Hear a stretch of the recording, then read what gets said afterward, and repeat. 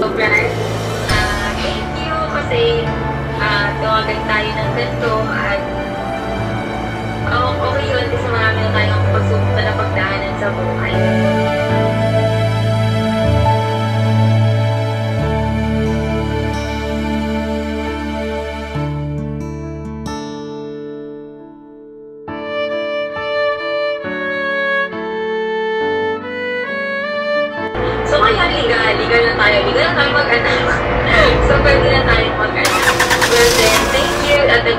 nagpapasalamat ako dahil alam ko naman na magiging mabuti ka pa dyan sa pamilya sa magiging pamilya mo dahil yung aking very family-oriented man.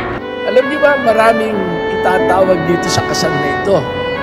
Tatawagin siguro itong wedding of the year, mga wedding of the decade.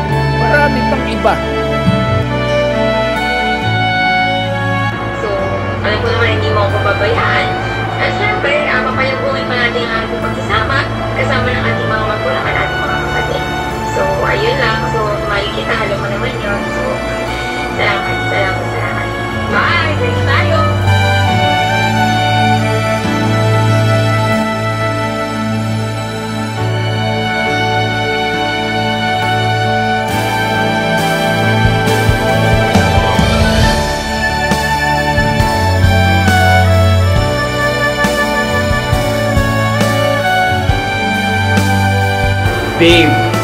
Jessica, sa araw na ito, alam kong maraming mga bagay tayong ah, pinagdaanan, mga bagay na bago natin maabot yung pinaka ah, importanteng araw na ito.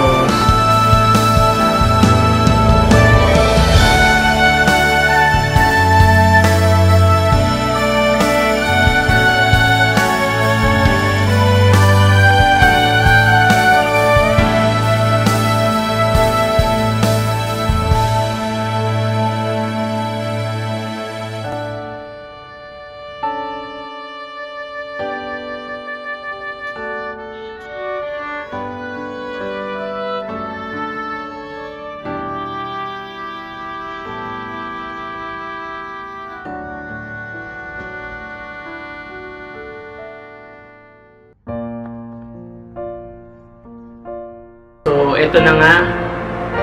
Andito na tayo sa harap ng altar. So, yung matagal na nating pinapangarap eh matutupad na.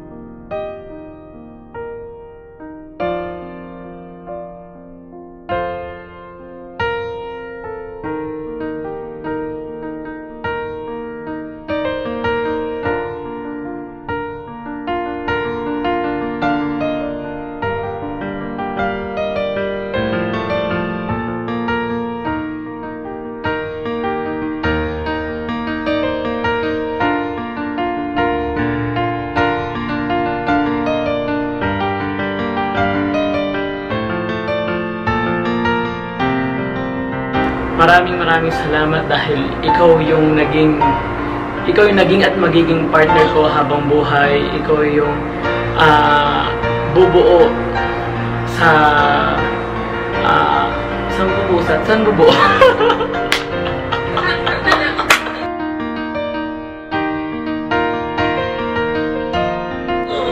ikaw yung bubuo sa pagkatao ko. Bakit may kulang sa pagkatao ko? Kompleto! Ayun. Ikaw yung kukompleto sa pagkatao ko. Maraming mga bagay akong natutunan, marami akong bagay na matututunan pa sa'yo. Hinihiling ko lang na sana, eh, kung ano yung nasimulan natin, eh, ayun din yung gagawin natin para maka, makarating tayo sa hantungan. Sa hantungan?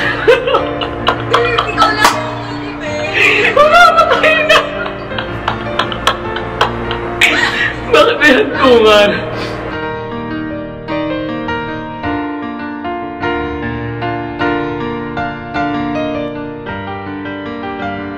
Do you accept her as your lawful wife? I do, I do, I do. I do. Do you accept him as your lawful husband? I do, I do, Father, I do! Jessica, take this ring, cheese ring, as a sign of my love and loyalty. so, walang hanggang... Ayun, di ba? Mo! Ah, pa. Sabi. Jessica. Take... Ito na nga eh. Jessica, take this cheese ring as a sign of my love and loyalty. Akin na. Mo. Oh, Oh. yan. Okay na. Brian, take this ring as a sign of, take this cheese ring as a sign of my love and loyalty.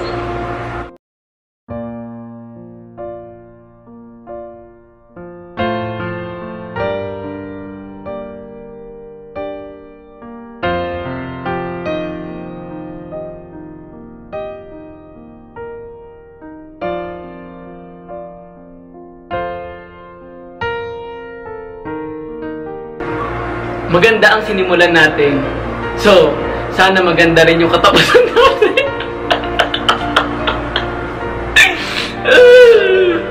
Ano ba yan? Ganun ba yung vows? Ay, ito na. Seryoso na. Mali. Ito na. Alam kong maraming mga bagay tayong hindi pinagkaunawaan dati. Mga bagay natin yung tipong ayun na yung akala natin ay katapusan ng ating relasyon. Pero ngunit ayun yung mga bagay na napa- nagpatatag sa ating relasyon. Di ba nga, sabi nila walang perpektong relasyon. Pero, ah naniniwala ako na tayong dalawa yung gagawa ng perpektong relasyon para sa atin. So maraming maraming salamat dahil humarap ka sa akin ngayon. Be my lady, come to me and take my hand and be my lady. Truly I must let you know that I'm in love with you. All I want is you, how I need you. So please be my lady. Maybe you could lose the pain if you just tell me.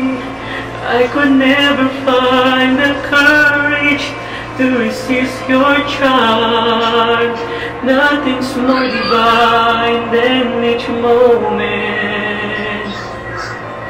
in your smile. Be my lady. Just forget the past. It's time to mend your broken heart.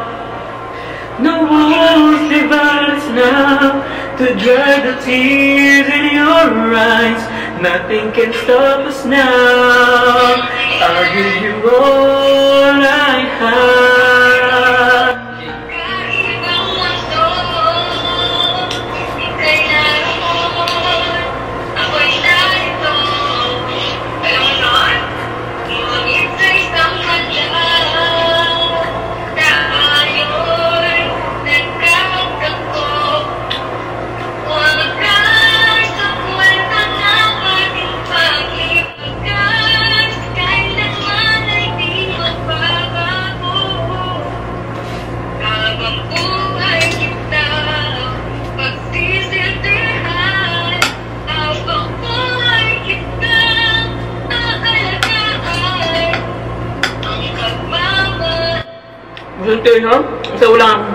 Ah. Mga ano. Yeah. Ako. Oh, ako. Oh. Ganyan ka pala magmahal, malaki. Malaki siya magmahal, guys.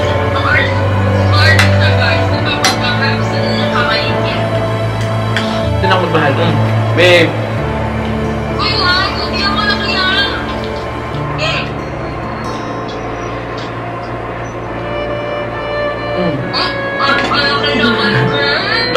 talaga, di ba? Ay, pala.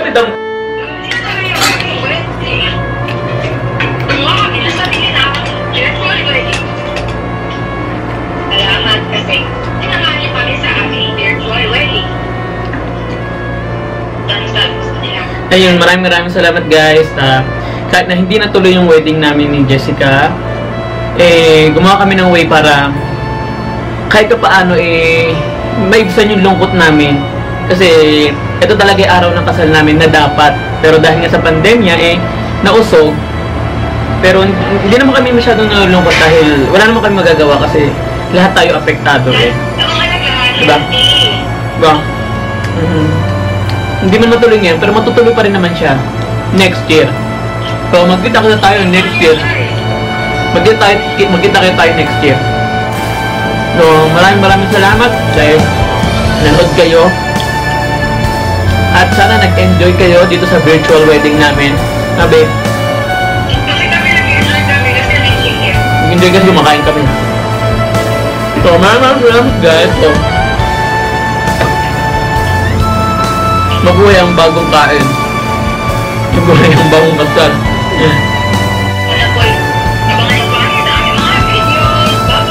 please like, share, and subscribe. Thank you mga sabi.